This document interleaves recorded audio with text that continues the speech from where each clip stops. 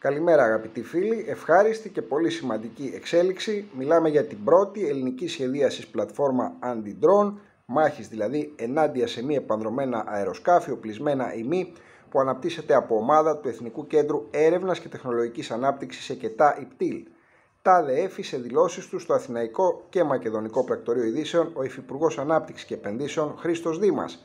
Η ερευνητική μας ομάδα είναι έτοιμη να περάσει στο τελευταίο στάδιο, στο στάδιο των τελικών δοκιμών υπό πραγματικές συνθήκες, ενώ την ίδια ώρα το ΕΚΕΤΑ βρίσκεται σε συζητήσεις με τον ιδιωτικό παράγοντα για να δουν για ενδεχόμενη εμπορική αξιοποίηση του προϊόντος, μακάρι και επενδύσεις και εξαγωγές.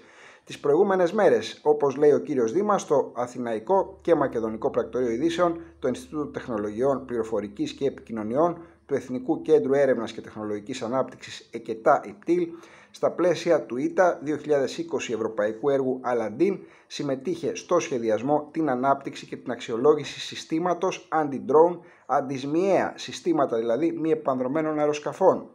Ολοκληρωμένη λύση στο αυξανόμενο πρόβλημα της απειλής ΣΜΙΕΑ βασιζόμενο σε ένα τελευταία τεχνολογία σύστημα και ενισχύοντάς το με την έρευνα σε διάφορες τεχνολογίες και λειτουργίες ανείχνευσης και εξουδετέρωσης σύμφωνα πάντα με το Αθηναϊκό Πρακτορείο.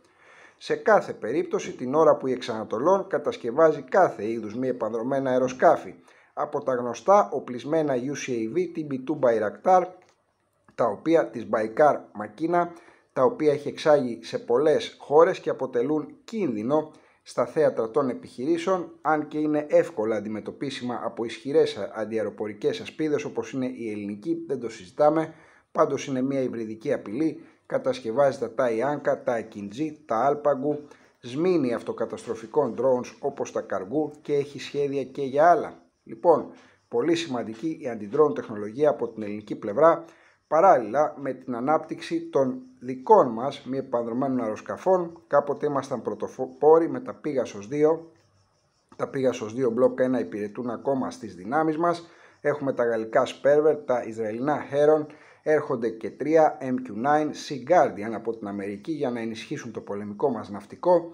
Όπως σας είπα και χθες, άλλο ένα Heron Ισραηλινό μισθώνεται από τη Frontex για 6 μήνες, ένα εκατομμύριο το μήνα ε, θα έχει την έδρα του στο τυμπάκι της Κρήτης αν θυμάμαι καλά και θα ελέγχει τις ροές και την ε, πάταξη, θα μεριμνά για την πάταξη της εγκληματικότητας νοτίως της Κρήτης και στο Ιόνιο. Σε κάθε περίπτωση λοιπόν προχωρά η Ελλάδα, υπάρχει το λέιζερ της Σούκος Robots που αναπτύσσεται, καταστρέφει μια πανδρομένα αεροσκάφη, μπορεί να πλήξει ακόμα και στις του αντιπάλου σε βεληνικές 30 χιλιόμετρων ως τώρα, ενώ κάνει και διάτρηση αρμάτων μάχης θωράκισης αρμα, άρματος μάχης. Υπάρχει πάντα το αντιντρόν ραντάρ τηλέμαχος που περιμένει, έχει μια αρχιτεκτονική που μπορεί το βεληνικές του να αυξηθεί, είναι μικρού βεληνικές αρχικά να αυξηθεί και έτσι η Ελλάδα που έχει μία από τις καλύτερες πολεμικές αεροπορίες στον κόσμο, που έχει μία από τις καλύτερες αντιαεροπορικές άμυνες, μπορεί και στην drone και anti-drone τεχνολογία να γίνει πάλι πρωτοπόρος όπως ήταν αρχικά με τα Pegasus. Αυτά προς το παρόν. Θερμές ευχαριστίες που μας παρακολουθείτε. Μην ξεχνάτε like και εγγραφή στο αγαπημένο σας μέσο. Καλή συνέχεια σε όλους.